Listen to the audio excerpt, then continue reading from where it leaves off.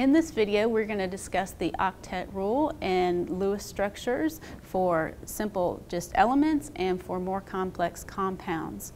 Um, if you recall from the periodic table, the noble gases, which are in group 8A, are the least reactive elements on the periodic table. They are the least reactive because they have a full set of valence electrons. They have eight valence electrons. So, all the other elements on the periodic table basically want to be like a noble gas and have eight valence electrons, and that's where the octet rule comes in. Atoms on the periodic table will gain, lose, or share valence electrons so that they achieve a full set of valence electrons, which is eight. Okay?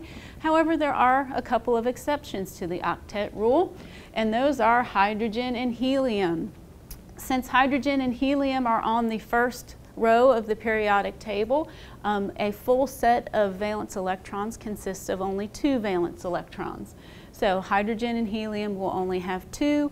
All the other elements on the periodic table will try to achieve eight valence electrons. Okay. We can represent the number of valence electrons in an element using Lewis symbols. We will use a dot to represent the number of valence electrons. Lithium only has one valence electron because it's in group 1A on the periodic table.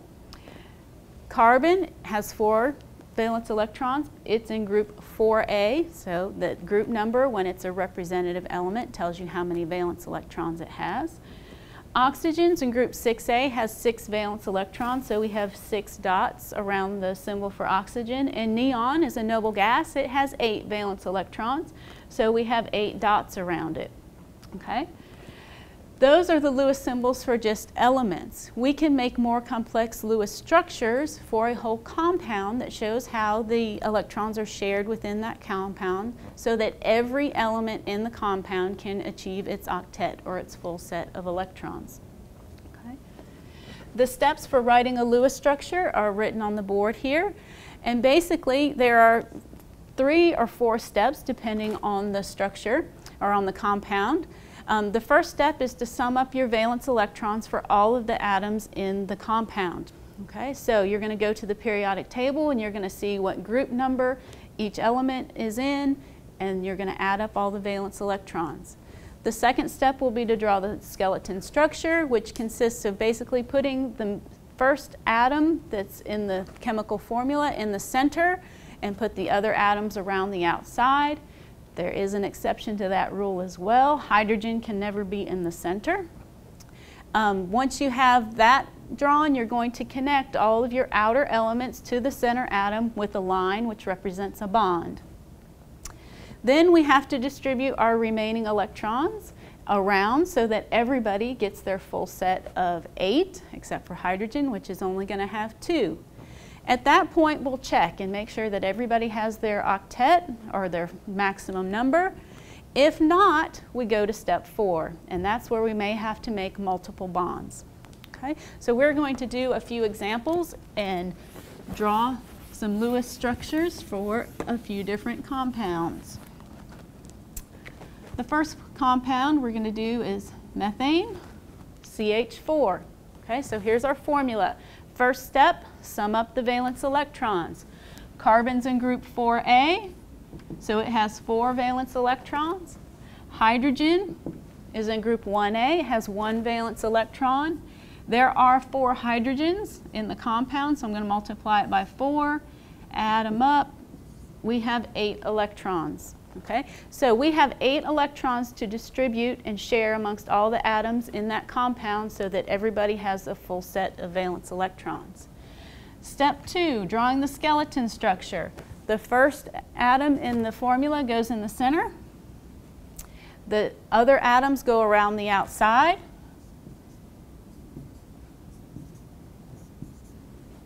And we're going to connect each of the outer atoms to the center with a bond. We use a line to represent a bond. A bond represents two electrons, a pair of electrons. So, so far in our skeleton structure, we have used two, four, six, eight electrons to connect the outer elements to the center element. We're going to subtract that from our total number of electrons, and that tells us that we have used all of our electrons. So now we don't have any more to distribute, so we're going to check and make sure that everybody has their full set of valence electrons. Hydrogen is an exception and only needs two. If we look at this hydrogen atom, it has its two electrons because it's sharing these with carbon, so it has two. This hydrogen has two, this hydrogen has two, and this hydrogen has two. So all the hydrogens are happy. Now we have to look at the center carbon. This carbon gets use of all of the bonded, the electrons in the bonds. So it has two, four, six, eight electrons around it. That's its full set. So this is the complete Lewis structure for methane. Let's do another example.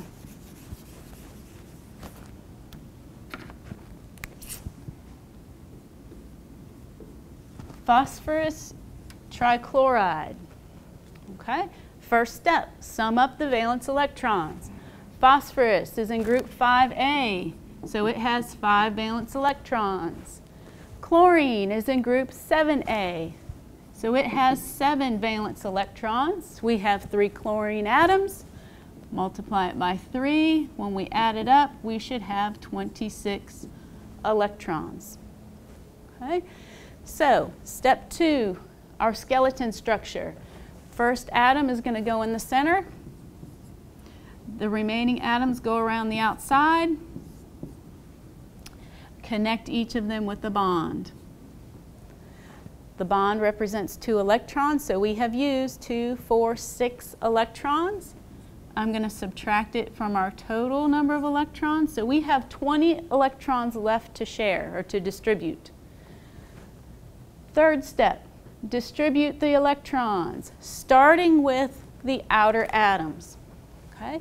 So let's pick a chlorine atom. This chlorine atom already has two electrons.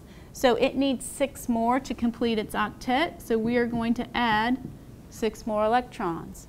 This chlorine already has two. We're going to add six more so that it completes its octet. Same for this. It has two. We add six more. So we have used 6, 12, 18 electrons. We have two remaining, two electrons remaining. We have already given electrons to all the outer atoms to fulfill the octet. Any that are left over at this point will go to the center atom. So I'm going to give these two to phosphorus. Subtract. We have used all of our electrons. We've distributed them all. So now we have to check, make sure everyone has the octet. If you look at this, this chlorine, it has all eight. This chlorine has all eight. This one has eight. Check the center atom. Phosphorus has two, four, six from bonds and the two that are a lone pair, so it has eight as well. So this is the complete electron or Lewis structure for phosphorus trichloride. We're going to do one more example that takes us down to step four.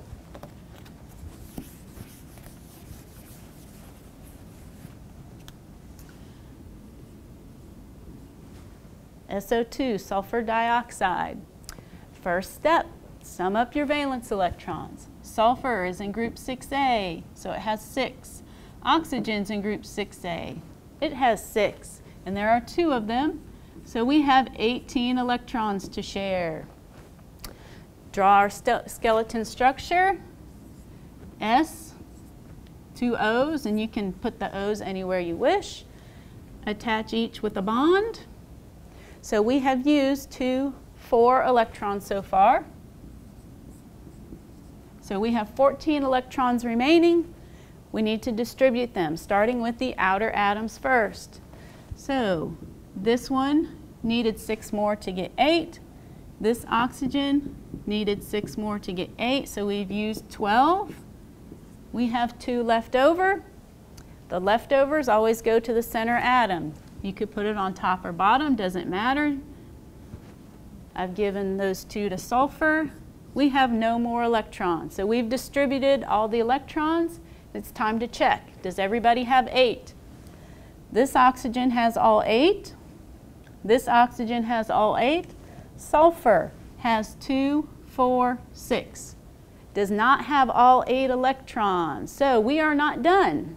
Sulfur has to have all eight.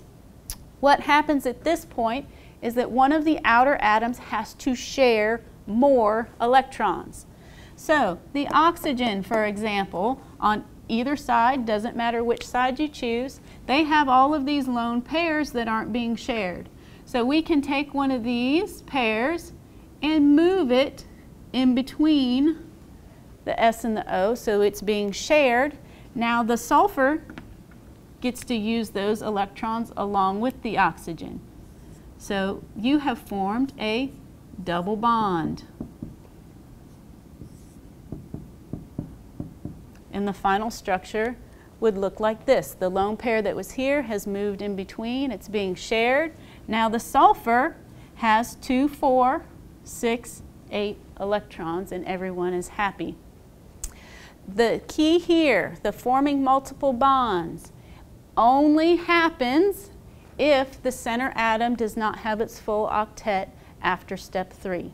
Okay, so you, that is always a last resort to form multiple bonds.